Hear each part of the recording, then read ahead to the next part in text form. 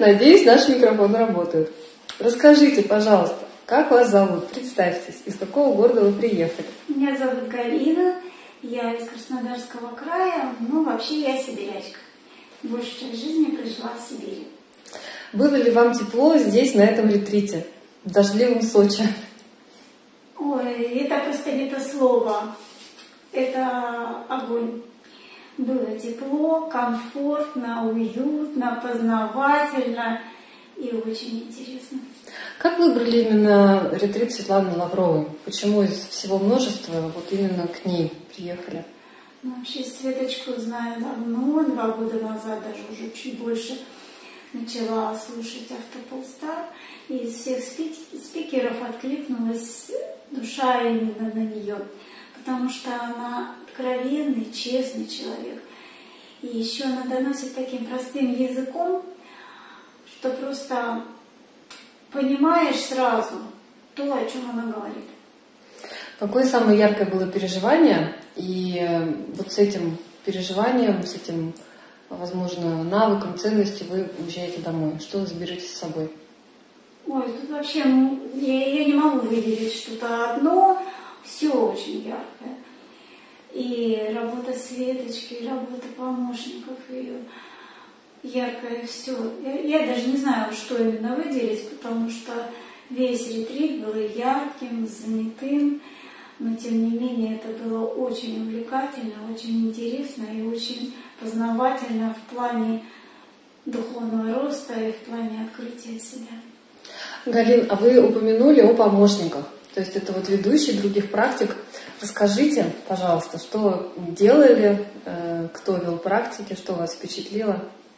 У нас был шаман. У меня это первый опыт общения такого близкого с шаманом.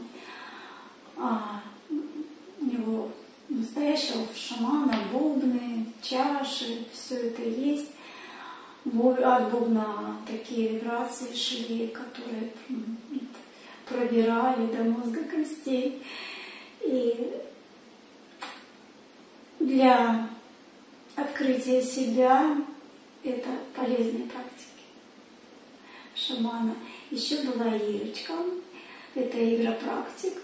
Она проводила игру, но это была не просто игра, это мы в этой игре проживали, можно сказать, свою жизнь.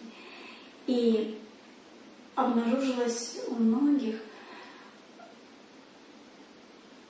такие затыки, блоки, неправильный подход к жизни, и все это в игре обозначилось, и все это мы перепрожили по новой и вышли в итоге на верхний самый уровень Творца.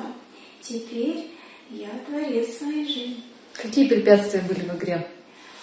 Препятствий было много, и, допустим, у меня было препятствие сменить свое окружение. И я так записала себе, да, ну, наверное, так, не осознала до конца, что надо это сделать вот, в ближайшее время.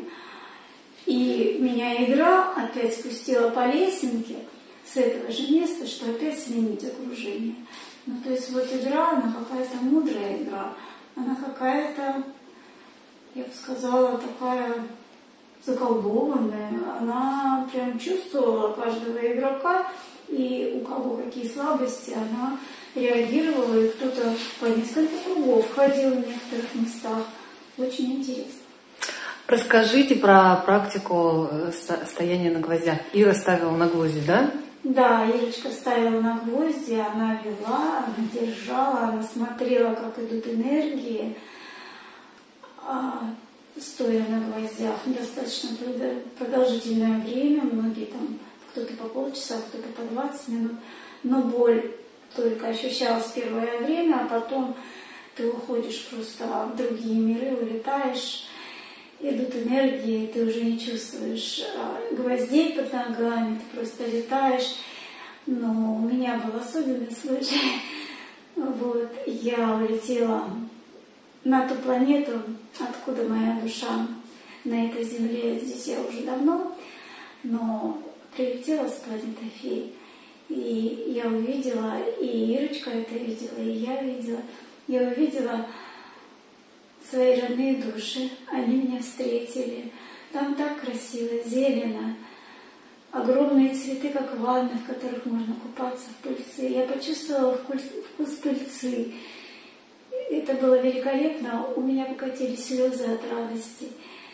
Мне помогали те феи, которые, с которыми я когда-то жила. Вот. И я знаю, зачем я пришла на эту землю, для чего. Это удивительный опыт, очень необыкновенный. Да. И Ирочка мне очень сильно в этом помогла. Она вела, она чувствовала, она поддерживала, помогала, где-то подсказывала и соучаствовала тоже в этом. Что бы вы могли напутствовать тем участникам, которые а, приедут на следующий ретрит? Если вы сомневаетесь, то обязательно приезжайте. Если вы еще не в теме и так вас это не трогает, то вам, может быть, надо еще подождать, подрасти. А если есть просто сомнения, ну, какие-то семейные дела, работа или что-то, найдите возможность, приедете, пожалуйста, потому что вы ни капельки не пожалеете. Здесь столько открытий себя, столько возможностей, столько людей работают на это, чтобы каждый, кто участвует в ретрите, осознал себя, кто он на самом деле. Благодарю за ответы. И спасибо, что еще раз их нам э, повествовали, поделились. И до новых встреч. Благо принимаем.